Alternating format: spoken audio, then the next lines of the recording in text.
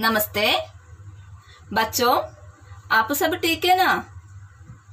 मेरा विश्वास आप अच्छे हैं।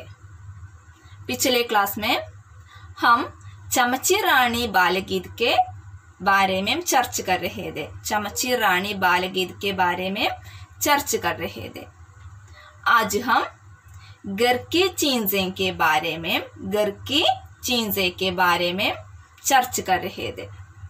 घर की चीज़ें।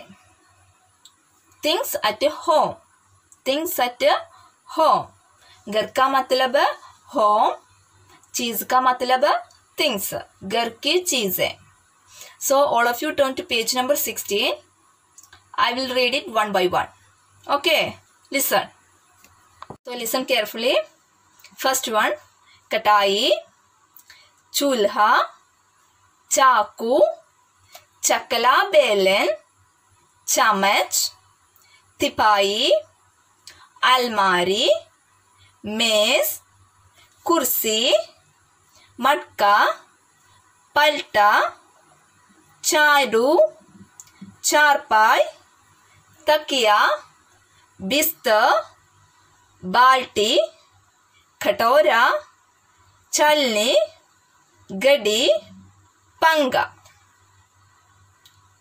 Once again कढ़ाई चूल्हा चाकू चकला बेलन चम्मच तिपाई अलमारी मेज कुर्सी मटका पलटा झाड़ू चारपाई तकिया बिस्तर बाल्टी कटोरा छलनी गडी पंगा you can understand the meaning of these things with the help of your textbook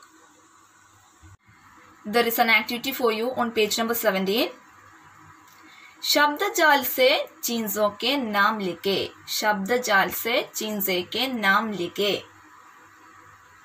make the name of things using the letters given in the column okay?